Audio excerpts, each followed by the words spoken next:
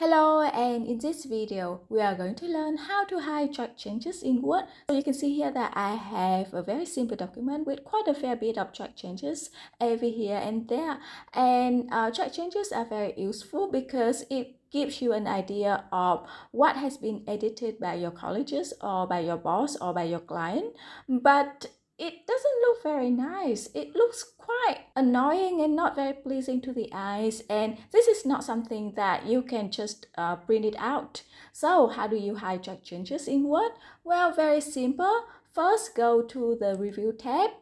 Then go to Tracking and here you can see that the default is all markup. So whatever changes has been made to this document, it is now being marked as track changes. Now we don't want that. So all you need to do is to click on the third option, no markup, and the annoying red lines and red crosses are gone. And this gives you the best of both worlds so you can print it out nicely. But the track changes are still there. Every time you want to refer to track changes, all you need to do is to click on the second option, All Markup, and the track changes will appear to let you know what has been edited in the document.